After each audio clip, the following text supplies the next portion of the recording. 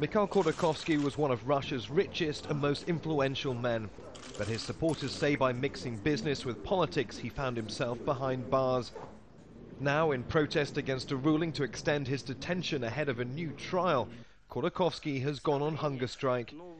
The ruling says Khodorkovsky violates recent changes to Russian law approved by President Dmitry Medvedev. He's vowed to go on protesting until Medvedev confirms he's aware of the situation.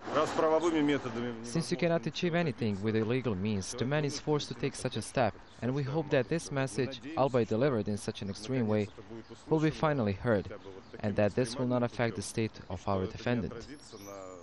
Khodorkovsky is already serving an eight-year sentence on charges of tax evasion and fraud. But earlier this month, this Moscow court extended that sentence by a further three months in a new trial that could see him behind bars for 22 years on charges of money laundering and theft.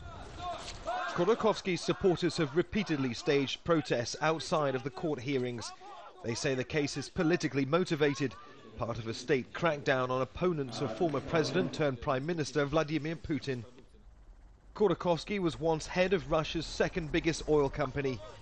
It used to pump one in every five barrels in Russia produced.